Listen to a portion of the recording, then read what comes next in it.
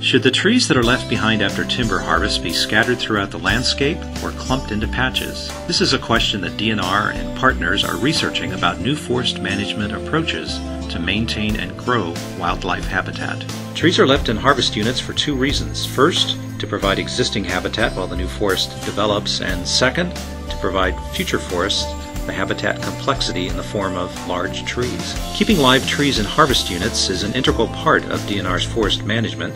These trees, left in the replanted forest stands, are changing the way forests function. On one of many sites throughout western Washington, DNR and partners from the U.S. Forest Service and universities have a long-term test of different densities of the leave trees. They're examining effects of harvest approaches on the productivity and growth rate of the new forest and the quality of forest habitat. This study's been going on for 15 years and helps us evaluate, over time, the effects of leave tree numbers and configuration in harvested areas. Starting with forests of the same basic structure, harvests retain either 15%, 40%, or 75% of the forest on the sites.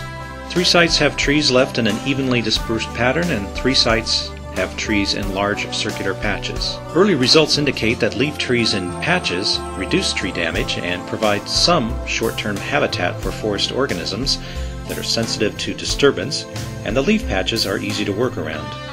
Dispersed leave trees are somewhat difficult to work around and can be sensitive to wind disturbance. Scattered trees shade planted seedlings and slow their growth. However, in the future, these dispersed trees will serve as the anchor for future older forest habitat over large areas. This project provides valuable information for managers so they can better understand the current and future values of large trees as habitat features in the developing forest and will continue to provide new information for decades to come.